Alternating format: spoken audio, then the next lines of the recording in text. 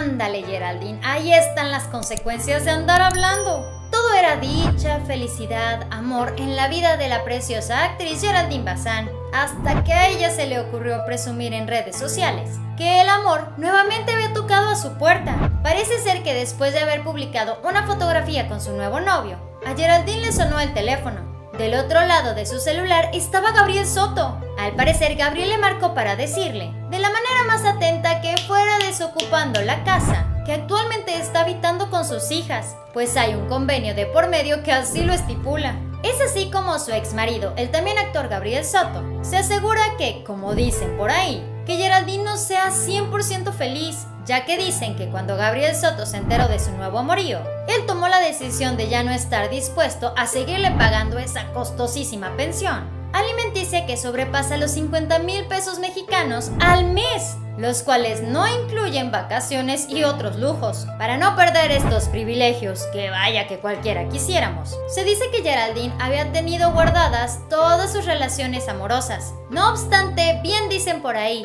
el dinero y el amor no se pueden ocultar por mucho tiempo.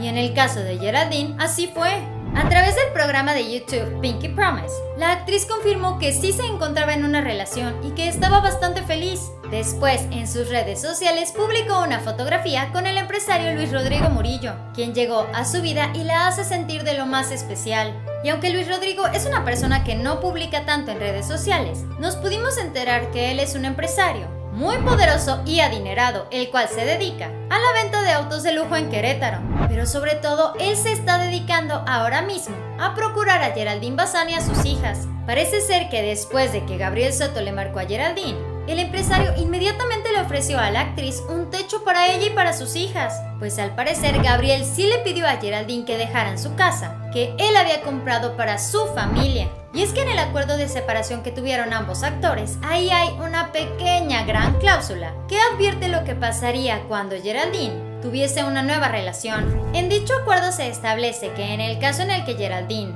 contraiga matrimonio nuevamente o sostenga una relación en concubinato, ella tendrá que abandonar el mueble que pagó el actor de Televisa Gabriel Soto.